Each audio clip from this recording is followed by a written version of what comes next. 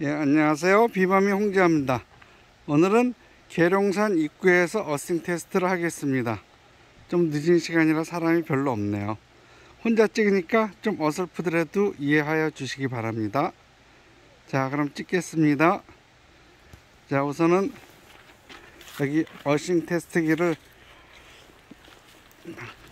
땅에다 꽂고 땅에다 꽂고 좀 어두워서 시간이 잘 안 보이는데 다시 끄, 껐다가 자, 옴 테스트부터 합니다.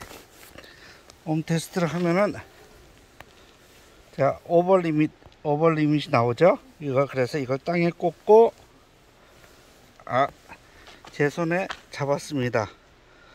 그러면은 숫자가 바뀌는 게 보이시죠? 근데 여기서는 되게 잘 통해요.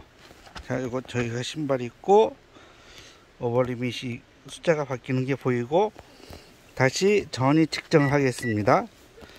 전위 측정을 하면서 이걸 안 펴놓고 이걸 잡으면은 12, 2, 3, 0, 00이 되는 게 바뀌시, 보이시죠?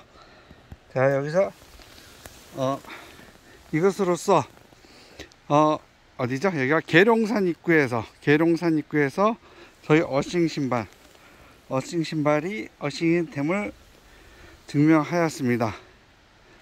아, 그리고 또 하나 어, 특이한 것은, 음, 다시 하나를 보여드릴게요.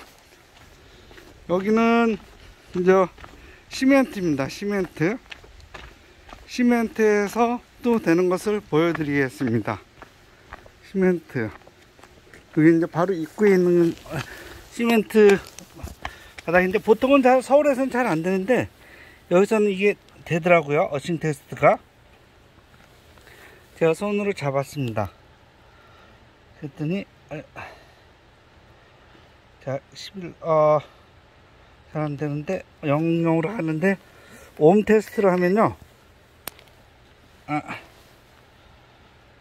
옴 테스트를 하면 이게 숫자가 바뀌는 게 보이시죠 시멘트 위에서도 옴 테스트를 하면은 어, 전, 어, 전기가 통하는 게 보임, 접지가 되는 게 보입니다.